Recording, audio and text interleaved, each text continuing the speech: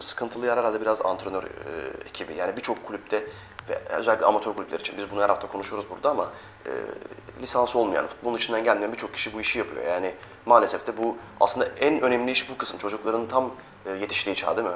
Yani hem eğitim anlamında da Tabii hem, kesinlikle, e, kesinlikle öyle ama anlamında da. e, tabii düne kadar bunların hepsi inanın e, asgari ücret belki biraz arttı şimdi ama inanın 1-2 sene önce 2000 liraya 2500 liraya çalışan çocuklardı ve ciddi kulüplerde çalışmalarına rağmen bu hocalar bu paraları alıyorlardı.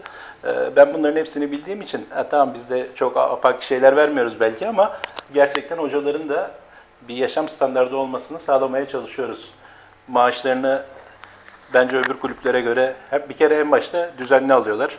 Her ayın beşidir bizim ödemelerimiz ama hiç beşine bile kalmadan istediğiniz hocamıza sorabilirsiniz yani e, ödemelerini yapıyoruz.